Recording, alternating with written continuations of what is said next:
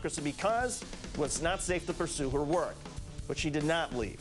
On Saturday, she was shot dead in broad daylight by the Taliban.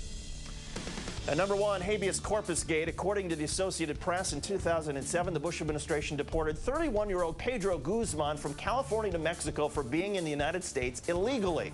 Guzman was mentally ill and could not read or write. After his deportation, he slept on the streets, eating from trash cans for almost three months. Pedro Guzman is an American citizen. He was born in Los Angeles, California.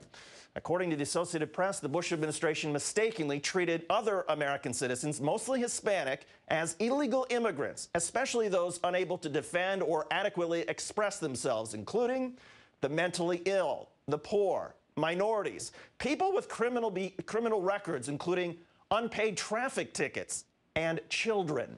55 American citizens disappeared from their homes, illegally banished from their homeland. 55 American citizens that we know of.